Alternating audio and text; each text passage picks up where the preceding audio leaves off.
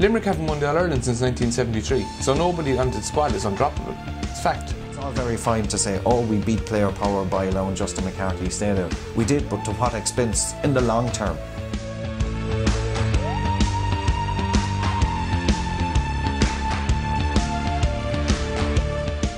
two years ago when Justin was appointed as manager and everybody heralded this as the great start for, for Limerick hurling, including myself. I thought that he was probably the best man out there for the job and without a shadow of a doubt that everybody welcomed his appointment when he came in. The, the week before the semi-final Ireland everything was perfect. The week after everything seemed to have fallen apart and rumours started to come out but that's what Limerick is all about. GAA, it's all about rumour and fellas hear everything after the fact, you know, you never hear anything before. Mm, we, we defeated Wexford for the first time ever since 1996, so that was a, a huge day down in Wexford Park. Word afterwards came that the players had held this, this meeting beforehand and decided whatever tactics the management were going to give them or not, that they were going to play their own style of way. We didn't take 100% notice of that at the time because, as, as Don said, rumours and innuendos, all the, the GAA is made up of it's transpired that some of the players felt that the coaching was a bit too basic, but Justin is a very basic. It's a simple game hurling. You you can overcomplicate it. Um, I do think that he was having an effect on the players and the, the hurling style was coming, but I think the, the, wheels just fell off tactically in the All Ireland semi final in particular. So I think then you lose, once you lose one or two players in the camp, you lose them all. We thought that we had a, a good team going up to Croke Park, but something went wrong that day, whether it was the management's fault, whether it was the players' fault, I don't know. But something went seriously wrong on, on that day. And I suppose since then, we, we, we all know what's happened since as a result of that. The world is a vampire. It's a management's prerogative to drop whoever he wants. He lives by the call, dies by the call, as the saying goes. And if he had dropped, for argument's sake, the likes of Niall Moran and, and uh, they and had rang them and told them, Mark Foley and those, and said, "Look, lads, you're dropped. That's the end of it. My decision." Uh, that would have been fair enough. And if Limerick find themselves where we are now, I, I, I don't think Justin would be there uh, in terms of he would have made the wrong call in, in dropping them, uh, as, as has turned out since. Kilmurry Lodge was the venue for a new season, new meeting for Justin and his team. Um, it was only when certain players arrived at that meeting they realised that some of their comrades from last year weren't at the meeting. Now, that could be understandable, fellas mightn't turn up or whatever, but it did transpire later that they were never told about this meeting which is basically the crux of the situation that's happened in 09 and, and 2010. I still reckon that Justin McCarthy is, is probably one of the finest coaches in the country, without a shadow of a doubt. But his man management skills are, are something that, that have been raised by a number of players, and, and I, I haven't seen much it the last number of months to, to convince me that, that he is this brilliant man manager, while he is, without a shadow of a doubt, one of the greatest coaches.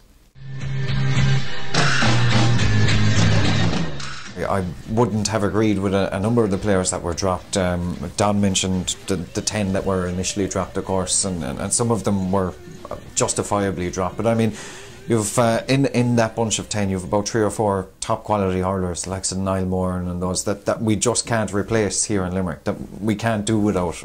They should come back for the good of Limerick hurling. You should always come back and play for your county, it doesn't matter. At the end of the day, 15 Limerick players in green are going to run out in Semple Stadium in, in, the championship in the sun in the summer, and we have to support them because they're wearing the green jersey. It, you pass it on to the next guy. It's not yours. It doesn't belong to you. It never did belong to you. So if you're asked to wear that jersey, you wear it. Look, either a player is going to come back or he's not. It's it's as simple as that. And the players have said they're not going to come back under any circumstances, given the current management. So what what I'd like to see an end to is this like uh, out at the Gaelic grounds every day you go out to, to do a match or to do a Limerick match you're told oh the next game now we'll have X back or we'll have Y back. We won't have them back. What we have is what we have. You're a club hurler first. When you pick up your hurley when you're six or seven years of age you don't pick it up with Limerick you pick it up with your club. So you play for your club and the county invite you to wear that jersey or even train with the panel. That's how it works. That's how the GAA works. It might be it's Achilles heel, but it's his best asset too. You play for your club and you, you get drafted into the county panel. After that, the following year, you're not on the county panel again. You have to be asked to be on the county panel every year. Just because you're on it for 10 years doesn't mean you're on it for the 11th. Just because you're on it one year doesn't mean you're on it the next. That's the honour behind it. The heading was Limerick players dropped due to lack of discipline. I mean, you have Mike O'Brien. I'm, I'm going to leave out a few players. You've Mike O'Brien there that, that never touched a drink in his life. Uh, you have uh, Niall Moran, who, who drinks very rarely. You know, these players have given 110% every night they go training. I find it very weird, particularly in Limerick. It's such a sporting city that everybody knows everybody. So the rugby crowd know the hurling crowd, and the hurling crowd know the soccer crowd. So take for example, a Limerick hurler or footballer is out and has a few points on a Friday night. Now that suddenly becomes a story of oh he was out socialising and he's not putting it in. That might have been his week off. People don't know whether he had a match or he could be injured or whatever, and that's his downtime. And he's more entitled to that. He's absolutely entitled to 100%. Or even if they win or lose a championship match, you cannot deny a guy a few points if he wants it. Again, you touch on whether these players are professional or not. Are they entitled to have a drink? I mean, if, if I hear one more story about a certain Limerick hurler that was out seen in, in Limerick the night before, or seen in Dublin, sorry, the night before the, the All Ireland semi final when Limerick, he would have done well because, I mean, he, he was on the train from Limerick the following morning at 8 o'clock. So, I mean, you hear stories about players being out the night before matches. I, I don't believe a lot of that. Um, I know after the Wexford game, we mentioned the Wexford game there earlier, that uh, some players stayed in Wexford that night. They had the full permission of the Limerick hurling management team to stay in Wexford that night. Training was organised for the next morning. The players made the training. So, you know, people make a lot of issues and a lot of stories you hear out there are, are 100% untrue. When the Cork hurlers, Limerick footballers, Limerick hurlers turned, were looked to be turned, get professionally treated, they weren't winning anything. So there's a certain time of grace there where people would accept, yes, you're doing your best, you can have your few points. But then when you start to lose, and you lose every year, and you don't win anything, and then you're seen socialising, the mob, you know, the mob is only as intelligent as the, the lowest IQ in the mob. That's when the rumour starts then. Oh, sure, they were out the night before, I saw them out this way. It's all rumour. I don't think for a minute any Limerick inter-county hurler was out drinking the night before a game. But maybe they were drinking in between league games or in between championship games, and you'd have to look and wonder, was every other county doing that? We we call them the replacement panel. They're doing well, they're hurling for a county, pride, passion. It's just that the standard maybe isn't there that what we're used to. But at the end of the day, we have to accept the decision now, county board, move on. And when they run out at Thurles, you still have to roar for them because it's still 15 lads in green. You know, it, it mightn't be the guys you want it to be. It never really is the guys you want it to be. There's always going to be debate on who should be playing but they're the Limerick Senior Hurling team no matter whether we like it or not. If a team isn't successful, it ain't going to get the supporters. With the All Ireland champions down at the Gaelic grounds a couple of weeks back, 1,500 people at max is what was there. We had a, a, a, Saturday night game, Limerick against Cork in, in the National Hurling League, which would normally generate about five or six thousand people in, in, in, in the Gaelic grounds. Was there even a thousand people at it? You know, I mean, ultimately, the people want success. And unfortunately, and I, I, hate to say it, we ain't going to see success with this current bunch of players. But what we are seeing is a, gro- a, a group of lads that are given 110%.